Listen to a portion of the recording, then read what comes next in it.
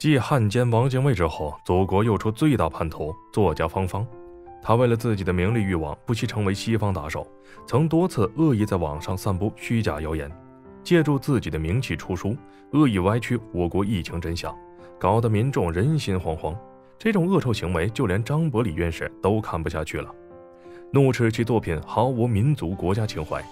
但这个傲慢的女人不但不道歉，反而叫嚣让张伯礼院士道歉。更过分的是，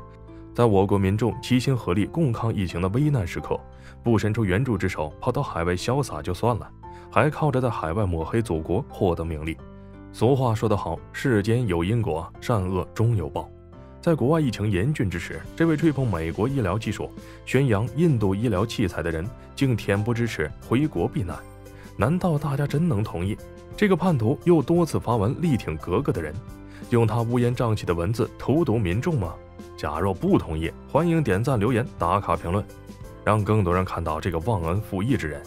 芳芳虽然身为作家，却臭名昭著，在我国武汉疫情期间，为了获得美方好感，移民出国。他没有遵守一个公民的基本准则，表面道貌岸然，背地却背叛祖国。在他的日记和书里，把道听途说、不能分辨真假的消息，经过夸大的描述，肆意编写。真不知他这么做是不是早已谋划好了，想要博取西方国家的眼球。而事实上，他确实成功了。经过他口吐芬芳、四处散播抹黑祖国的谣言后，西方国家立马给这个人抛出了橄榄枝。芳芳日记的负能量在国内人人嗤之以鼻，在海外反而成了香饽饽，甚至最高时卖出了二十多美元的价格。印刷一百万册，也就意味着一千两百多万美元，折合人民币就是七千万。出书到现在已经两年，怎么着也八千万了，这无疑是让他发了一笔横财。可能尝到甜头后，便开始更肆无忌惮地抹黑造谣，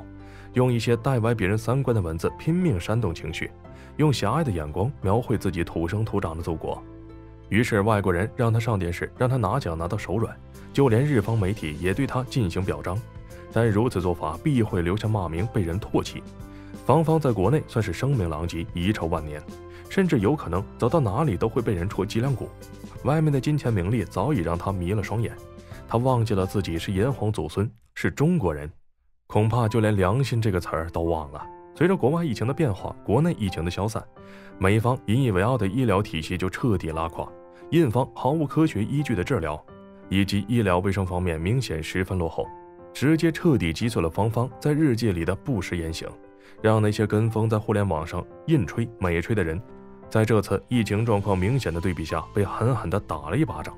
可能芳芳在国外的日子也怕了，但她躲避回国后不是低调，反倒发文说有人欢迎她回来，给她送礼花束，真是没点自知之明啊！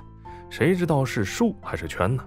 本以为芳芳此次回国是看清其他国家疫情形势，想要对大众道歉。没想到接连几个澄清小作文，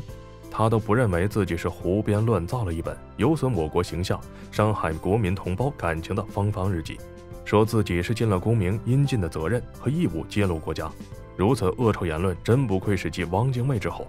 指不定真心道歉也没有人想原谅呢。对此，有些爱国网民真心是看不下去了，提问：芳芳是怕海外疫情波及自己，还是被美方抛弃拿不到绿卡？